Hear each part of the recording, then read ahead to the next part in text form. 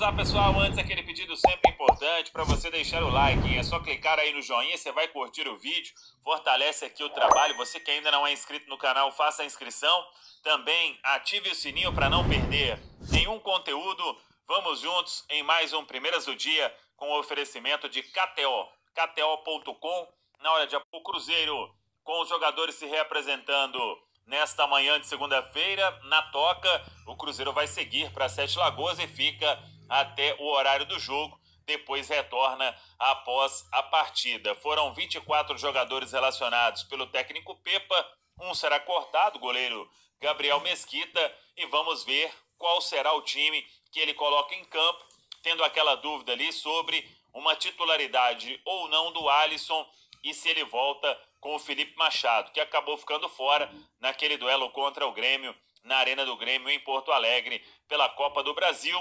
Talvez aí a única dúvida do Pepa. Todo mundo treinou na última atividade ontem. O Cruzeiro teve um dia a mais de recuperação em relação aos outros jogos e agora o Cruzeiro terá uma sequência de cinco partidas e depois tem uma parada porque é data FIFA. Então, até importante a gente falar sobre isso o mês de junho tem uma data FIFA e terá uma pausa aí de 11 dias de um jogo para outro.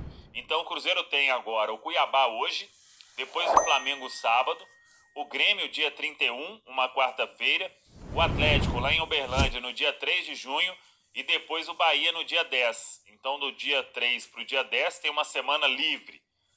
Hoje e joga sábado, um tempo considerável, cinco dias. Aí joga quarta e sábado. Depois do Bahia no dia 10 de junho, Cruzeiro só volta a jogar no dia 21 de junho. Então são 11 dias aí, tempo mais do que suficiente para recuperar todo mundo, é entrar com força máxima nesses jogos. Claro que se alguém tiver sentindo aí algum problema, não tem por que jogar, mas o Cruzeiro trabalhando para uma sequência forte e uma sequência importante para tentar vaga nas quartas de final da Copa do Brasil e abrir vantagem em termos da Série A do Campeonato Brasileiro. Até sobre isso, uma vitória hoje diante do Cuiabá pode significar ao Cruzeiro, pode não, se vencer, vai abrir 10 pontos de vantagem em relação ao 17º colocado. Ele assume a vice-liderança, eu até falei sobre isso no Twitter, que a parte de cima da tabela é importante você estar, mas o foco do Cruzeiro tem que ser abrir vantagem em relação aos times da parte de baixo. Depois, estando lá em cima, acabando um turno, aí você mira outra situação. Mas o primeiro objetivo tem que ser se afastar da parte de baixo da tabela, abrir vantagem em relação ao Z4.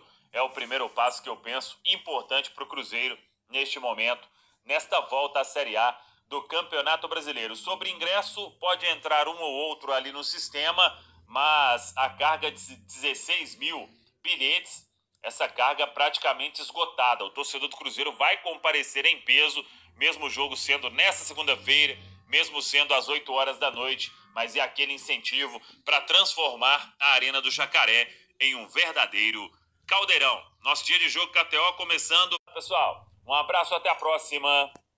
Vamos que vamos. da cabeça, amamos o Cruzeiro.